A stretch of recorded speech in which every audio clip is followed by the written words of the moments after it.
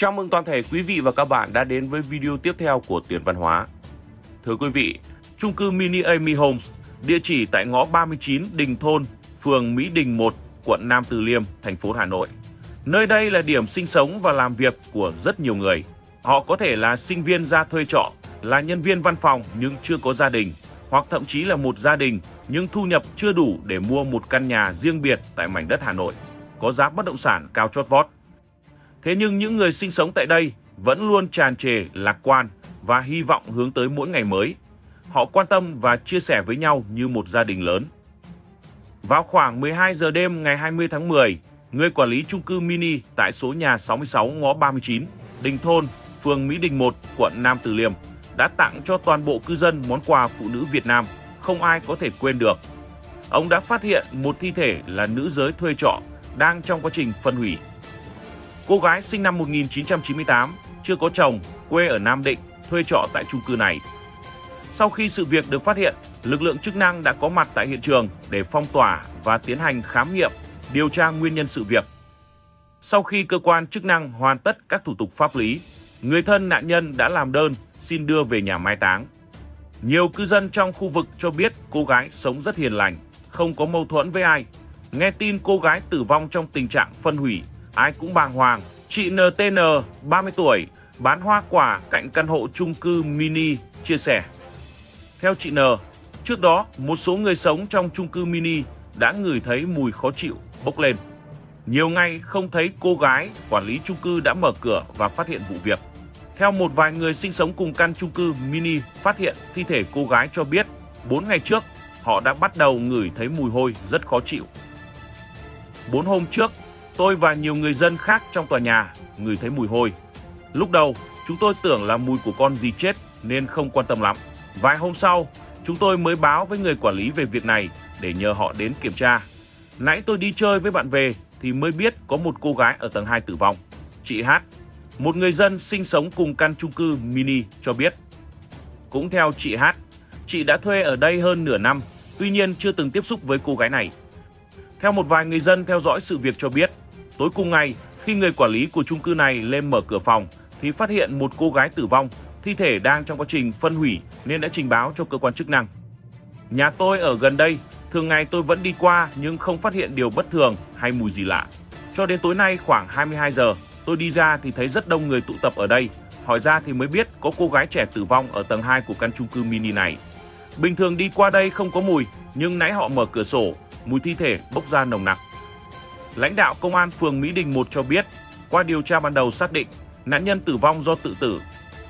Thời gian gần đây xuất hiện khá nhiều vụ việc đau lòng như tự tử, sát hại nhau vì mâu thuẫn trong các nhà trọ, gây không ít phiền phức cho chủ nhà và những người thuê trọ xung quanh.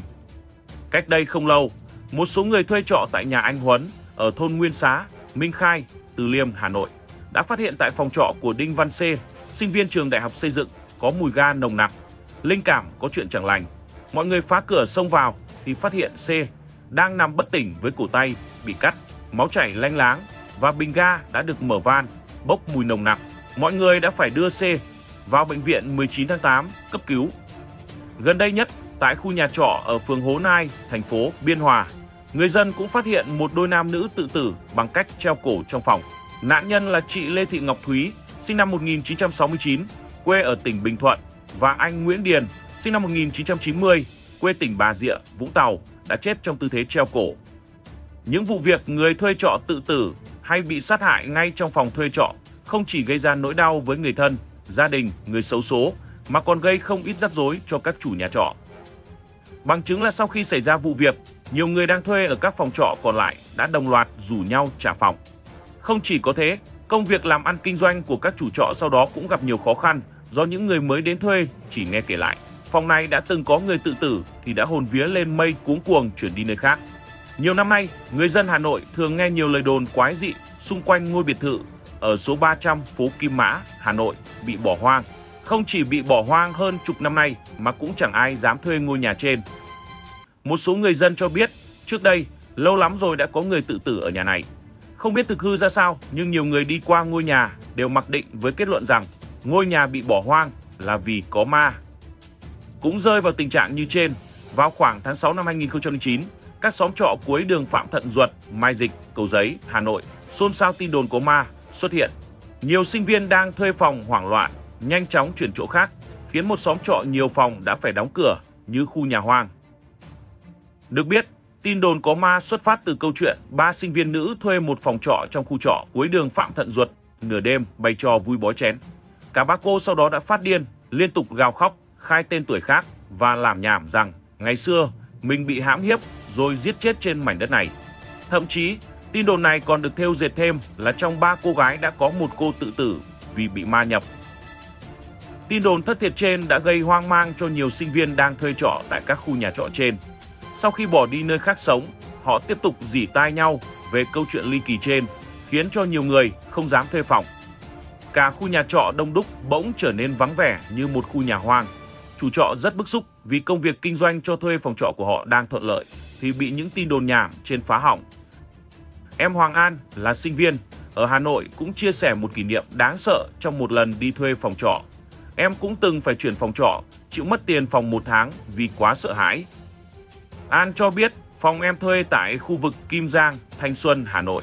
Đó là một căn phòng cấp 4, khá ẩm thấp, âm u nhưng bù lại rộng rãi, giá lại rẻ.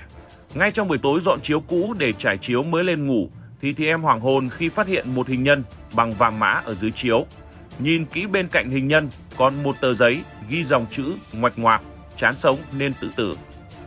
Dù ba chủ nhà giải thích là trước đó bà cho một số sinh viên nam thuê phòng nhưng những người này ở quá bừa bộn, lại thường xuyên nộp tiền nhà muộn nên đã bị bà chủ đuổi đi. Khi bị đuổi, những anh chàng này cay, Cú đã dựng nên trò dọa ma trên để chọc tức chủ nhà. Mặc dù vậy, Hoàng An vẫn khăng khăng Em chẳng còn hồn vía nào mà nghe bà ấy giải thích nữa. Tối đó em sang nhà bạn ngủ nhờ, rồi sáng hôm sau chuyển phòng đi luôn. Những câu chuyện nửa thật nửa ngờ còn khiến chủ nhà lao đao, mất khách chứ đừng nói đến việc phát hiện thấy xác người ở trong phòng. Ví dụ như căn chung cư Mini Amy Homes coi như không thể nào cho thuê căn phòng ở tầng 2 rồi. Chính vì thế, với những bạn nào thực sự chán đời và không thể tìm lối thoát, hãy cố đừng làm liên lụy đến ai. Mà tốt nhất là đừng có tự tử Xã hội còn nhiều người vất vả khó khăn gấp trăm lần mà người ta còn muốn sống cơ mà.